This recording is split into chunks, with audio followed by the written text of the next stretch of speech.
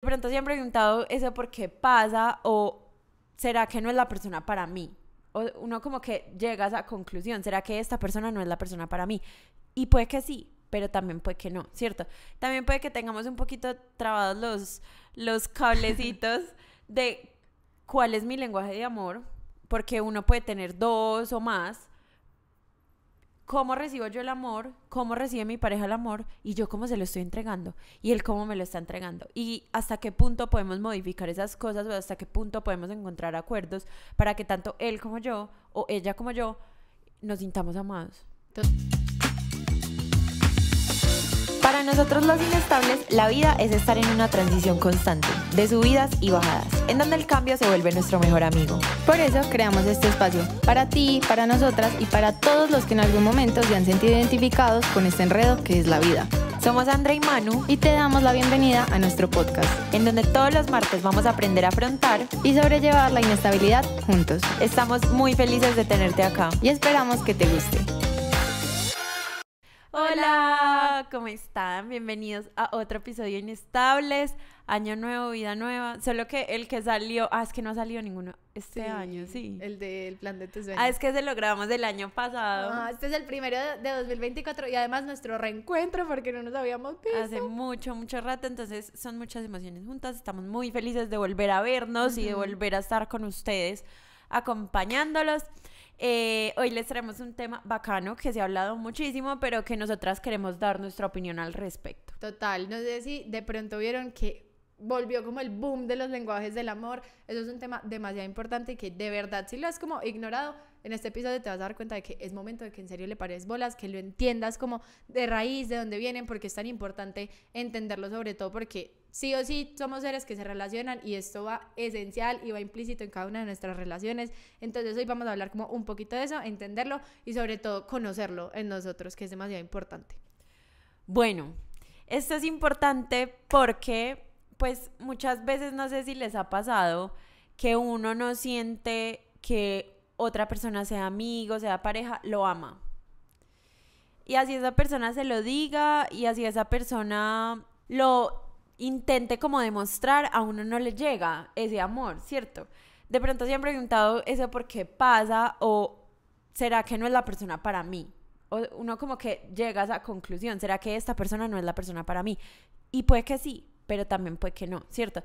También puede que tengamos un poquito trabados los, los cablecitos de cuál es mi lenguaje de amor, porque uno puede tener dos o más, cómo recibo yo el amor, cómo recibe mi pareja el amor y yo cómo se lo estoy entregando y él cómo me lo está entregando y hasta qué punto podemos modificar esas cosas o hasta qué punto podemos encontrar acuerdos para que tanto él como yo o ella como yo nos sintamos amados. Total, entonces si quieren resolver todas estas dudas y se sintieron un poquito identificados o si simplemente tienen curiosidad sobre el tema, ya saben que se pueden quedar hasta el final del episodio porque también les tenemos algo nuevo que yo no sé, quédense y se darán cuenta. Pero bueno, Ahora sí, entrando en materia, esto de los lenguajes del amor, ¿de dónde sale? ¿Quién se inventó eso qué? Bueno, fue un man. un tipo ahí. creemos que es psicólogo o psiquiatra, debe ser una de dos. Y se llama Gary Chapman. Lo pueden buscar si quieren saber como un poquito más de la vida de él. Pero él habló sobre pues que existen cinco diferentes tipos de lenguajes de amor. Es decir, que las personas sabemos o percibimos el amor puede ser de cinco maneras distintas. Entonces tenemos palabras de afirmación. Las palabras de afirmación o la persona que tiene este lenguaje de amor como su lenguaje principal, le gusta que literal le afirmen o le reafirmen todo el tiempo que la aman, ¿cierto? O no sé, que se sienten muy orgullosos de lo que son, que la admiran demasiado, o sea, como en palabras le están diciendo que la aman para, para esa persona es suficiente para sentir amor. Sí, yo creo que palabras de afirmación lo podemos ver desde tres escenarios. El primero es como en cuanto a la relación. Entonces es eso como yo te amo, tú eres el amor de mi vida, estoy súper enamorada de ti. O hablemoslo desde otro tipo de relación, desde amistad. Como amiga, te amo, o sea, esta amistad es lo mejor que me pudo haber pasado.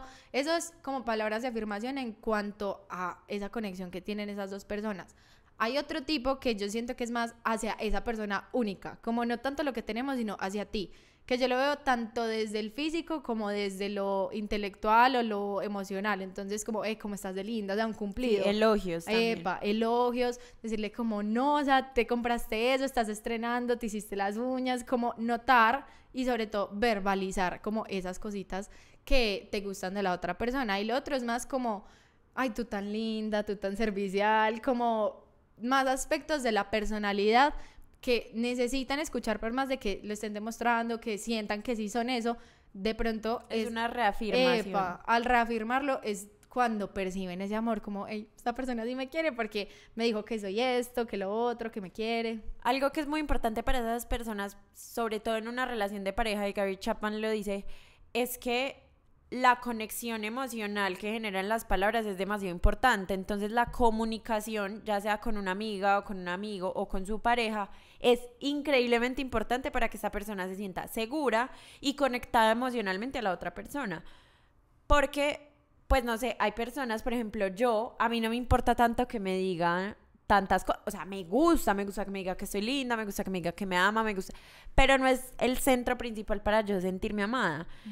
Y aunque las conversaciones con él son importantes, a mí lo que me llena son sus actos. Para las personas que el lenguaje principal son las palabras de afirmación, con la palabra está perfecto. Les basta, total. A mí me pasó que una de las personas con las que yo estuve tenían este lenguaje del amor. Yo también soy full de actos. Ahorita les vamos a chismosear un poquito cuáles son los de nosotras, pero para mí era impresionante porque siempre antes de dormir yo recibía un párrafo un párrafo de palabras hermosas, o sea, de, de, cosas demasiado lindas, como cada noche, literal.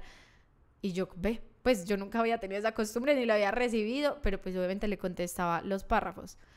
Pasó algo muy charro y es que cuando ocurrían como sucesos importantes para él, yo, siendo más de actos, pues me iba y hacía algo, más no le escribía el párrafo de la Biblia que le gustaría como recibir. Y después en como en un momento en el cual tuvimos esta conversación como ven es que es que yo no necesito esto, a mí me gustaría recibir un mensaje de tu parte de que te sientes orgullosa de mí, de que bueno, de que me amas, de que la rompí, que no siempre salga como de mí, sino que también recibirlo de ti. Porque Andrea y yo somos súper eh, amiga, te amo, estoy muy orgullosa de ti. Ya. Pero nosotras no nos mandamos un mensaje porque a las dos nos da física pereza. o sea, es como, ay, amiga, vamos a celebrar comiendo un heladito, te amo. O yo llego, no sé, conseguí trabajo, yo llego y Andrea me está esperando con un regalo. Sí. pero no necesariamente me tienen que decir que está muy orgullosa de mí o que felicitaciones. O si me lo dice, basta, ahí ya. No me tiene que decir y decir y decir y decir un montón de cosas porque para mí no es importante y ella no ama de esa manera. Como derramarme en prosa, Dios mío. Es más, es que uno no le fluye, o sea, eso es lo lindo como los lenguajes del amor, que también, pues ahorita como que ceder al otro es demasiado difícil porque no es como lo que te sale naturalmente.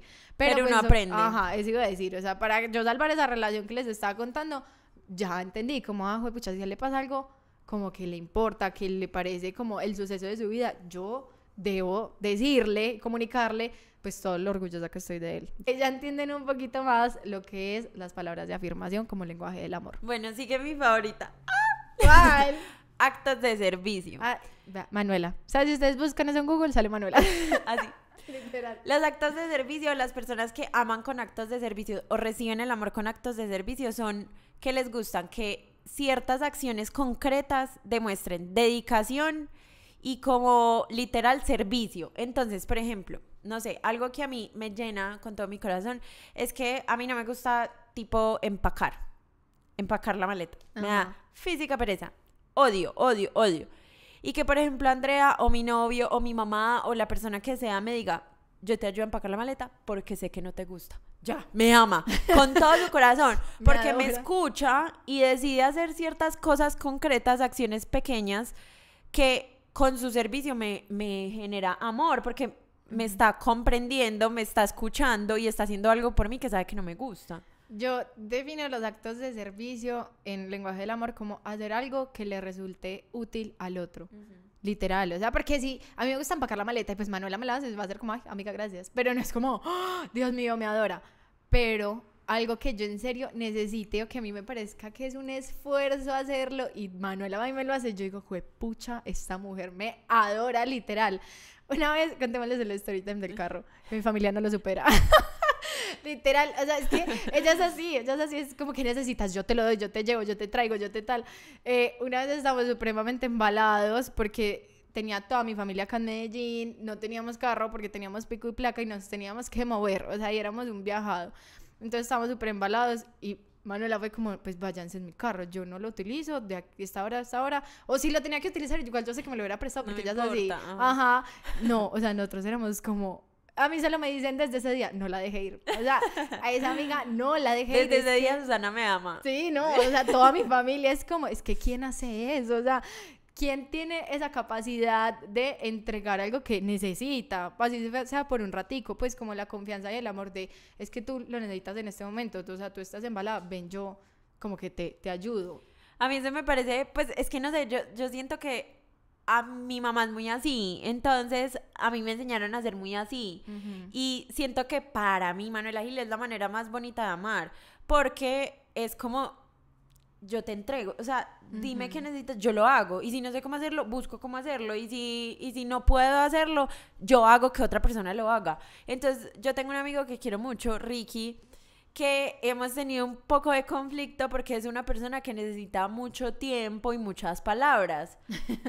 yo no sé dedicar mucho tiempo y muchas palabras, como que no me fluye tanto. A mí me fluye que cuando él esté triste yo pare todo en mi vida para ayudarlo, que cuando él necesita algo de mí yo haga lo que sea para ayudarlo. Y él necesita más mi tiempo y mis palabras. Entonces me mandó un párrafo súper grande y yo era como, fue puta, ¿cómo le contesto? ¿Qué hago por él? de verdad, como que me daba muy duro eso. Y le escribí o sea, mi, mi mensaje fue un acto de servicio, pues fue como, a mí no me fluyen las palabras como a ti tan lindas, pero quiero decirte que así mi amistad no sea tan presente como tú la esperas, yo voy a estar ahí no me puedes ver todos los días, pero yo voy a estar ahí. Y esa es la amistad que yo entrego. Total. No, y es demasiado lindo porque estos actos de servicio para, digamos, algo más cotidiano está como, no sé, que yo, que digamos juntas Manuela y yo, yo siempre lavo los platos. Y un día en el que yo no me hallo, pues, no puedo con más, Manuela va y lava los platos para allá con su música de lavar losa. Eso es un acto de servicio demasiado lindo porque es algo que pucha, yo no quería hacer, me va a costar mucho, o qué mamera, y llega otro y dice, yo lo hago por ti. O sea, es que me parece de estos de los más bonitos porque es hacia, pues como desde el otro siempre, es como es que a ella esto no le gusta, no, no le molesta, venga, yo le ayudo. Entonces me parece muy bonito porque es demasiado como empático, es como de, de ponerse en los zapatos del otro y venga, pues yo resuelvo. Sí. Amo. Eso es muy bonito. Bueno, sigue uno que a mi amiga por aquí le encanta. yo soy fan, yo soy fan. Y es regalos. Este hay que explicarlo bien porque sí, la porque parece materialista, ¿cierto? La importancia de las personas que reciben el amor o dan el amor por medio de los regalos no es tanto el valor monetario, sino lo significativo que hay detrás. Es decir, para Andrea es más importante que yo sepa que ella quiere algo, lo que sea, puede valer un montón o puede valer muy poquito, pero ella sabe que yo busqué lo que quería, intenté pensar en el color que ella quería, ta, ta, ta. Es que es eso, o sea, necesito explicarles. Sí, explícalo tú, explícalo tú. Al uno dar un regalo, o les voy a decir yo qué proceso mental hago al dar un regalo. Primero es que la persona tiene que pasar por mi mente. O sea, para mí eso ya suficiente, es como pensó en mí. O sea, pensó en mí, vio eso, pensó en mí. Yo soy de las personas en las que abajo de mi casa hay una tienda. Y yo antes de ver a Manuela o a alguien, como que paso por la tienda y le compro algo que le gusta. Si sea una chocolatina de 300 pesos, o sea, lo que les decimos no es como del monto como del valor que eso tenga. Y ni siquiera tiene que valer algo. Total, puede ser una nota, puede ser algo escrito, puede ser una servilleta, pero si tiene como valor emocional para pues para uno es como, maricas, yo no sé cómo explicarles, es lo mejor del mundo. Uno está como en su pic de amor. Pero entonces eso, como que primero tienen que empezar en ti, o vieron algo y se acordaron de ti. Para mí eso es como estar demasiado posicionado en el corazón de alguien. Es como, o sea, quien ve una chocolatina de mismo se acuerda de mí, ve, se la va a llevar para alegrarle un poquito el día. Y como que sabe que te gusta. Ajá. Segundo eso, me conoce. O sea, no, es que yo me muero. Por eso se relaciona tanto con, con actos de servicio. Ajá, epa. Ay, no. Entonces, bueno, eso es lo segundo, como que te conoce. Y tercero es como, o sea, se tomó el tiempo de hacerlo o de, pues si es algo como, de que requiere construcción, o si es algo que requiere dinero, es como, pucha, es que gasto en mí, o sea, eso se lo pudo haber gastado en él, o sea, para mí eso es demasiado importante, como como, wow, en serio, gracias por hacer esta inversión en simplemente alegrarme un ratico la vida. Para mí eso como que no tiene precio. Por eso yo creo que Andrea y yo conectamos mucho desde el principio porque identificamos muy fácil el, lenguaje, de amor, de la otra. Total. Tipo, yo me acuerdo cuando Andrea y yo empezamos así, full, full, full, a hablar todo el tiempo, todos los días. Ella estaba súper estresada por un evento que tenía que planear y yo... no, es que me va a poner a llorar acordándome de eso. Fue muy lindo. Y yo no la podía ver pero yo busqué como un heladito y justo ese día quería helado. Es que fue como, bueno, yo busqué un heladito y como algo y le escribí un mensajito que decía como, tú puedes con todo. Sí. Y ya, y para mí eso es como un acto de servicio porque era como un dulcecito al día que ella necesita porque está súper, hiper, mega estresada. Y para ella lo recibió perfecto porque fue un regalo como, ay, pensó en mí. No, yo me ella casi se muere. Yo me muero. Ella, ella me dijo como, me muero. Además, él, él extra de que tuviera algo escrito. Es que ya eso pasa como de ser un regalo a ser un detalle. Ay, no, yo casi me muero de verdad. Así me pueden hacer muy feliz, ya saben. Y nos ha pasado muy charro porque hemos encontrado parejas que tienen de pronto un poquito menos compatibles los lenguajes de amor con nosotras. Entonces decimos como, porque no me aman como tú me amas? Literal, o sea... nos como, pues, es que tú sabes que si yo estoy triste, tú sabes que enviarme, tú sabes cómo llegar, qué decirme, nosotros no. Pero ya entendiendo todo este tema, que ustedes están recibiendo la información, van a comprender un poquito más cómo sobrellevar estas relaciones tan distintas. Y es re común que la persona no tiene por qué saber a ti como te gusta que te amen. O sea, la, persona no es adivina. Nosotras, porque simplemente fuimos compatibles en ese sentido y nos gusta dar y recibir amor de una manera muy parecida. Pero otra persona que, no sé, como mi amigo Ricky o como mi novio, por ejemplo, que le gusta más eh, que le dedique tiempo, que le dedique palabras. Mi novio es como todas, es un poco, es un poco exigente. o sea, yo le tengo que dar todo. eh, amigo, mentira. Pero pues como que para él fue un poquito más duro descubrir mi manera de amar y yo se la tuve que decir, pero se la dije y de una, ¿cierto? Entonces también es como, no exactamente tu novio tiene que amarte como tú estás acostumbrada a que te amen, no, él tiene su forma de amar, tiene su forma de recibir amor, tú descúbrela y, en, y explícale cómo tú te sientes amado. Eso debería ser una conversación demasiado normalizada para cualquier relación, o sea, sea de pareja, o sea de amistad, porque de verdad que a partir de eso, a partir de que uno conozca a la otra persona cómo percibe amor, entonces pues tú ya sabes cómo actuar a partir de eso, para que se sienta más, y eso es lo que tú quieres y ese es el objetivo. Entonces esas conversaciones son demasiado lindas porque muchas veces uno en el proceso, pues nosotras sí fuimos muy afortunadas porque en el proceso de conocernos pues nos dimos cuenta porque éramos muy parecidas, pero a mí me pasó en una relación en la cual llevábamos meses y nos tuvimos que sentar a decir es que yo no te conozco, pues yo no sé qué más hacer para que tú en serio me creas que yo te amo. ¿Por qué? Porque no conocíamos ni teníamos claro el lenguaje de amor del otro. Y más importante aún, ninguno de los dos lo tenía claro. Entonces yo creo que uno primero debe empezar por conocer el de uno, que aquí si se están sintiendo identificados con alguno, pues pueden hacerse una idea, pero igual les vamos a dejar un test en, en, el link de la descripción para que lo hagan y pues descubran cuál es el de ustedes y ya después lo puedan comunicar con la relación que quieran y lo consideren necesario. Bueno, seguimos con ese también, para mí se volvió súper fuerte, antes no lo era y ya como con mi pareja.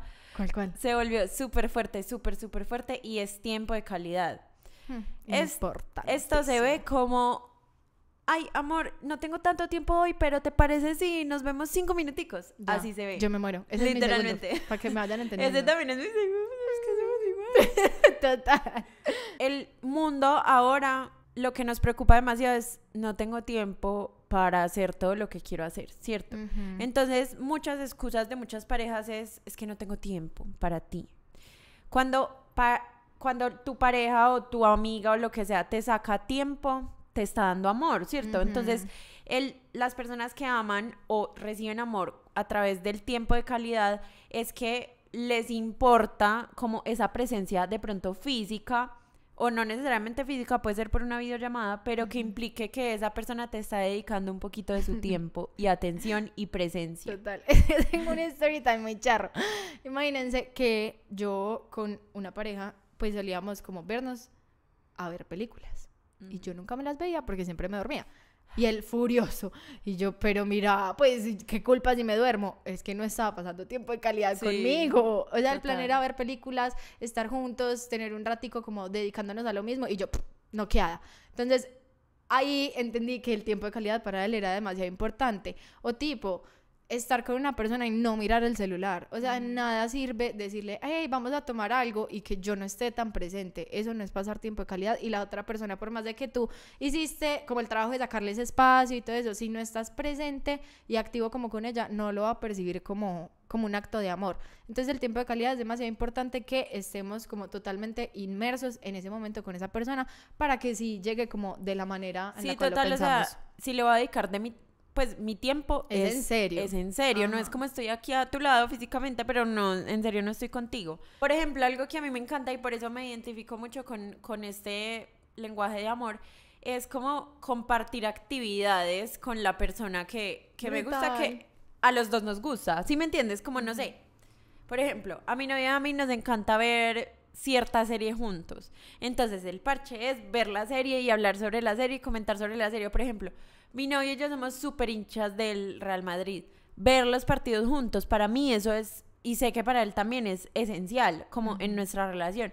Es muy importante pasar ese tiempo. Y lo mismo, no escogidos así, pues como el, cada uno con el celular, no, sino viendo el partido. Estamos Ajá. juntos y estamos dedicando cada uno de su tiempo para vernos y compartir actividades. Y ese me parece demasiado lindo porque siento yo que es el que más, fue pucha, como el que más requiere de ti, ¿cierto? Sí. Porque requiere como todos tus sentidos en un mismo momento y Ajá. dedicados a esa misma persona. Pues tipo, siento yo que con un detalle, como que uno dio el detalle y ya, Y ¿cierto? chao. Y eso no demora nada. Epa, pero es que dedicar tiempo de calidad es como, no sé, generar recuerdos, generar momentos, me parece de los más lindos y lo tengo, entonces, por eso es de mis favoritos.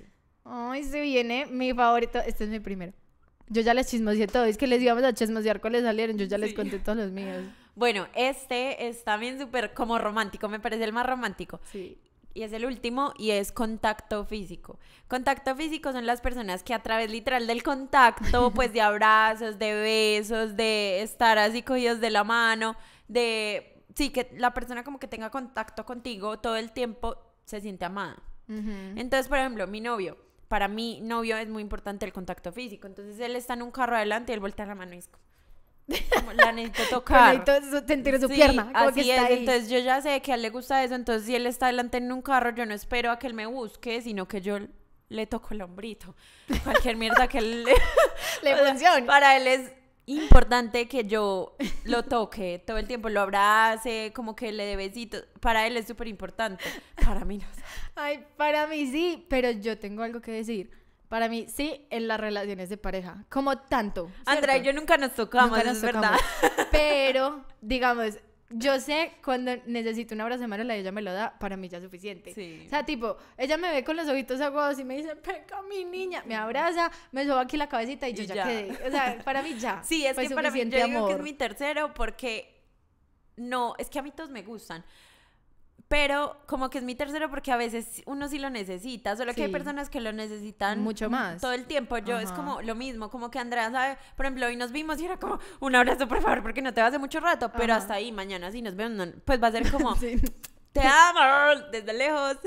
Y ya, pero yo en las relaciones, yo soy de las que, oigan, esto es demasiado en serio, pero uno es como, necesito sentirlo, o sea, necesito que si vamos en el carro, él me ponga la manito en la pierna. Necesito que si vamos caminando, tampoco pues que nos vayamos agarrados de la mano y no nos soltemos por nada del mundo, pero que si me pone la mano en el hombro un ratico, ya, como que para mí es como, ay, me ama, o sea, es demasiado charro. O tipo, para estas personas que tenemos este lenguaje del amor, la intimidad es demasiado importante, o sea, porque ahí es donde uno más contacto físico tiene. O también tipo que de la nada tiene un beso, o sea, para mí eso es como lo más guau del mundo, o sea, es en el momento en el que más me siento amada. Y cuando tengo como espacios en los cuales falta mucho ese contacto físico, ahí mismo empiezo a dudar demasiado. Es como, No me ama, Sí, no, me es toca. que pues hace mucho rato no me abraza, o sea, para mí es el primer detonante que me dice falta amor. Entonces, para que vean esto lo importante, puede que para la otra persona, si yo no le escribo en siete años que lo amo, va a decir como, uy, no, o sea, ¿qué es esto? Pero yo lo puedo abrazar todo el día, pero si su lenguaje del amor son las palabras de afirmación, eso no va a servir para nada, básicamente. Esos lenguajes de amor, pues o conocerlos o saber cuál tiene mi pareja, saber cuál tiene mis amigas, me parece el acto de amor más grande. O sea, es como, bueno, ¿A ti cómo te gusta que te amen? Cuéntame, yo intento amarte de esa manera, ¿cierto? Eso me parece súper importante y súper esencial entenderlo y también entender cuál me gusta a mí. Y yo cómo me estoy dando amor, porque uno no solo le da amor a otras personas, yo aprendí eso hace poquito, Total. que estoy trabajando como mi dependencia emocional y mi psicóloga me dice, ¿cuál es tu lenguaje de amor? Tal. Y tú te das actos de servicio. O sea, tú, tú haces cosas por ti. ¿cierto? Tú haces cosas para mejorar, tú haces cosas, cosas que te molestan para trabajar en ti. ¿Sí me entiendes? Como que también pregúntate si tú estás dedicándote ese lenguaje de amor que para ti es importante. Me parece súper esencial. Pero es demasiado esencial porque el primer acto de amor que debe estar dirigido a alguien debería ser a ti. Entonces, como que si ya te sentiste identificado con alguno de estos, investiga cómo podrías entregártela a ti, que la verdad siento que todos son demasiado como aplicables a cualquier relación, aún con la de uno mismo. Entonces, tipo, si tú tienes eh, como lenguaje del amor principal, porque ya vamos a, a explicarles un poquito que es que no es que tú te tengas que encasillar en uno, puedes tener varios, por eso hablamos de, ay, yo tengo este de tercero, de Sí. primero, hay uno que va a liderar siempre y ese va a ser el que vas a tener mayor porcentaje, pero siempre hay unos complementarios. Y en sí, obviamente sería delicioso recibir todos y creo que a eso le deberíamos apostar, a entregarlos y a, ojalá, recibirlos todos.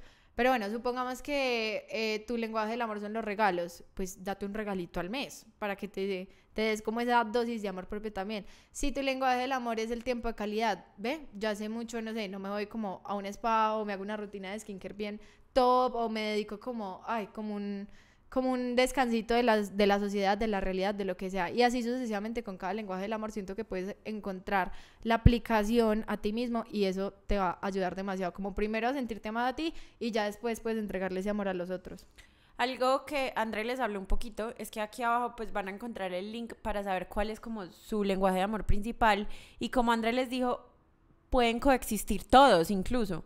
O sea, tú puedes tener un poquito de cada uno y tener uno más grandecito, eh, pero para ti es importante que te hablen todos los días, que te digan cuánto te aman, que te abracen, que, no sé, que tengan intimidad contigo, que, que te dediquen tiempo, que si no quieres hacer algo, te hagan un acto de servicio y que aparte te den regalitos que para ti son importantes. Y no eres exigente por eso. Simplemente te mostraron amor o nosotras creemos en esta postura y es que de pronto cuando tú estabas chiquita te enseñaron el amor de todas las maneras y eso es muy lindo porque yo siento que yo tengo mi lenguaje de amor súper marcado, mis lenguajes de amor súper marcados porque así fueron mis papás conmigo y así siempre han sido conmigo mi hermano, mis papás, mis abuelos, no sé, como que son muy de actos de servicio. Yo llego a mi casa y puedo decir hola, hola, hola, pero mi mamá está con la comida siempre Divina. y se levanta ya estando acostada y llega y me pone la comida encima porque sabe que yo llegué cansada. Y para ella fue un esfuerzo porque se levantó ya estaba también cansada y acostada. Entonces puede que no hablemos de nada en el día pero yo sé que mi comida está ahí cierto entonces para mí eso fue como me enseñaron amor y creo que por eso también es valioso recibir y dar amor de esa manera Y bueno, entonces la sorpresa que les teníamos es que esta es la parte 1 de este tema. ¿Por qué? Porque consideramos demasiado importante que tipo, ya escuchamos cómo fue en la casa de Manu, pero supongamos que en la mía fue totalmente diferente, que a mí no se me paraban a hacerme la comida, pero ni a bala, pero cuando yo llegaba lo primero que recibía era un abrazo y un venga, acuéstese acá, Oiga, runchémonos". cuéntame cómo Ajá. te fue hablemos de tus Exacto. cosas Y cuando ya entonces tú entras a una relación, sea del tipo que sea, con una persona que tiene un lenguaje de amor tan distinto, pueden encontrarse entonces como inconsistencias en cómo el otro está percibiendo el amor y puede que tú estés dando tu 100, pero el otro no lo va a lograr. Pero aún así quieres salvar esa relación, entonces por eso queremos hacer una parte 2 enseñándoles como ciertas herramientas en las cuales puedes hacer funcionar y puedes entender la dinámica de una relación en las cuales no tienen el mismo lenguaje de amor. Nos vamos a centrar un poquito en las relaciones de pareja. ¿cierto? Pues como relaciones de pareja amorosas o románticas, eh, para hablar cómo nos pasó a nosotras, que les adelantamos un poquito, pero vamos a hablar un poquito más desde el lado psicológico, más herramientas y consejos más que les pueden servir a todos. eh, para cómo solucionar estos problemas que me generan la diferencia de, de lenguajes de amor con mi pareja. Entonces, si tú pues estás interesado, crees que te sirve esta información, les vamos a dejar un link de registro para que pues les llegue como este contenido eh, privado o exclusivo. Exclusivo. Eh, simplemente te registras, respondes unas preguntitas y listo. Y lo esperas el sábado que ahí te llega.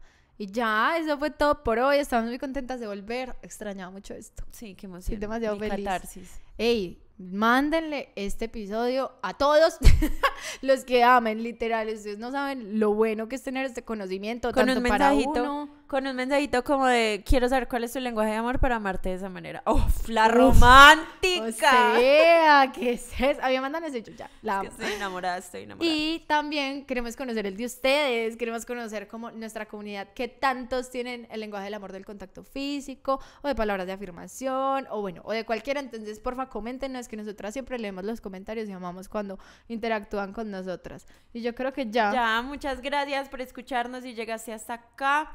Eh, responde cuál crees que es tu lenguaje de amor acá abajo y te esperamos pues el sábado. Si te Sí, registras y si eres te chévere. registras y eres cool. O si no, pues el otro martes también estaremos muy felices de estar contigo y acompañarte. Y no olvides compartir este episodio a una persona que le pueda interesar. Y seguirnos en nuestras redes. Ahora sí. Hasta Chao. luego. Chaito.